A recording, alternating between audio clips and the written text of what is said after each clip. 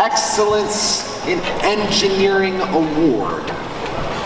Excellence. The Excellence in Engineering Award celebrates the team that demonstrates a professional approach to the design process and whose design is elegant and advantageous on the field of play.